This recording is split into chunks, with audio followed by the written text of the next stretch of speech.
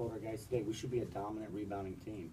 We're playing guys with size, we have very good athleticism.